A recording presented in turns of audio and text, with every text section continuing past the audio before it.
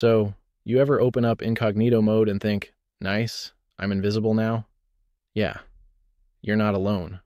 Most people treat it like a cloak of invisibility, but until recently, there was a huge privacy hole nobody talked about your clipboard.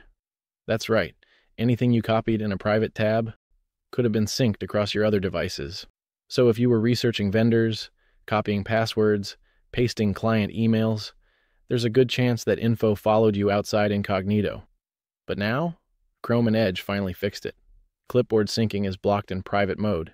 Copy something in there, and it stays there. For SMBs, that's huge.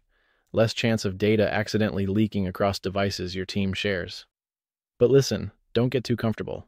Incognito still doesn't block phishing, stop malware, or hide you from your boss or your internet provider.